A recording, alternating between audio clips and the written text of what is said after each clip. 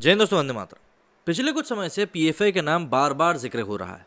मतलब पीएफआई जिन कारणों के कारण चर्चा में आ रहा है, वो कारण कहीं से कहीं तक भी ऐसे नहीं है, जो कि देश हित में माने जाए। और ज़ाहिर सी बात है, जब आप देश हित के कारणों में का मतलब ज़िक्र नहीं हो रहा है आपका तो ऐसे कारणों में आप आ रहे हैं, जो कि गलत है।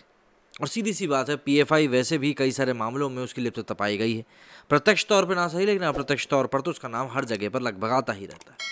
अब ऐसे में ही दिल्ली पुलिस ने एक और बार पीएफआई के कुछ मंसूबों के ऊपर पानी फेरा है और उसमें वीएचपी की शिकायत के ऊपर भी काम किया गया है, ऐसा बताया जा रहा है।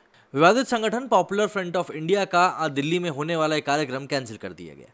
पीएफआई राजधानी के झंडेवाला में जन सम्मेलन करने वाला था। ये कार्यक्रम झंडेवाला के अंबेडकर भवन में ढाई बजे शुरू किया जाना था, लेकिन अब इसके ऊपर रोक लगा दी गई दिल्ली पुलिस ने इस पर रोक लगाई। विश्व हिंदू परिषद ने पीएफआई के कार्यक्रम को रोकने की मांग करी थी। वीएचपी की तरफ़ से इस कार्यक्रम के विरोध में दिल्ली के पुलिस कमिश्नर को चिट्ठी लिखी गई थी।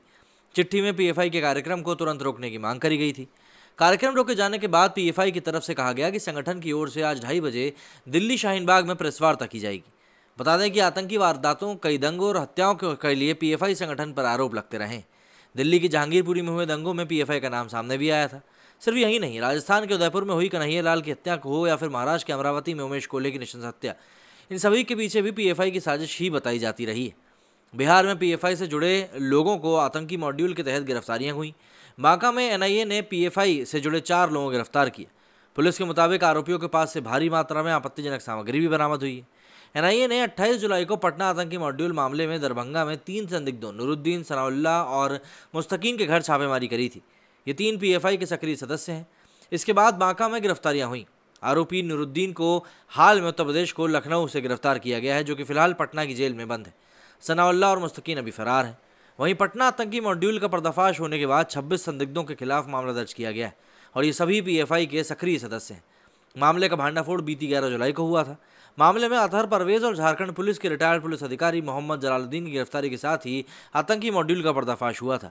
अब ऐसे में ज़ाहिर सी बात है, जब किसी एक संस्थान का नाम बार बार इतने सारे मामलों में सामने आ रहा हो तो कहीं ना कहीं उसको संदिग्ध नज़रों से तो देखा जाने ही लगता है।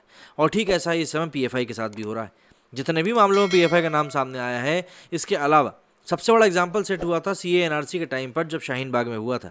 और वैसे भी ये संगठन जब साउथ से पनपना शुरू हुआ था तो धीरे धीरे कई सारे संगठन इसके साथ जुड़ते हुए चले गए। और उसी के साथ popular front of India Bharat में कई काफ़ी ज़्यादा पॉपुलर होता चला गया। कहने को तो ये है कि ये माइनॉरिटीज़ के लिए काम करता है उनके उत्थान के लिए काम करता है, लेकिन कैसी कैसी चीज़ें इससे लेकर लेकर बाहर मीडिया में आती रहती हैं, और पुलिस की जाँच में सामने आती रहती हैं, किसी से छुपी हुई नहीं है। कोई बड़ी बात नहीं होगी अगर आने वाले समय में पीएफआई के ऊपर हमेशा के लिए बैन लगा दिया जाता है तो ठीक उसी तरीके से, जैसे कुछ समय पहले सिमी के ऊपर लगा दिया गया था। आप लोगों का इस बारे में क्या कहना मुझे कमेंट करके ज़रूर बताएँ। मेरे स्टूडियो फ़िलहाल नहीं जय हिंद, जय भारत।